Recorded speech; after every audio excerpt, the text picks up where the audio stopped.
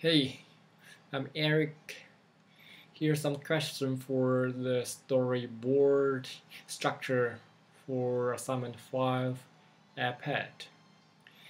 And um, what was quest the question is like uh, I'm thinking most of people make the storyboard like this top view top place split view controller and recent split view controller and for both of both top place top place split view controller and recent split view controller would have a, uh, have a photo view controller.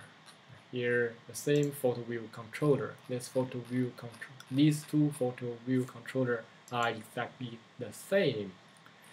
So of course this structure works perfect fine if I bring you the result for this. It would uh, running like this and we have recent and we have detailed photos. Of course it's fine. So I'm thinking uh, that is my here is my question.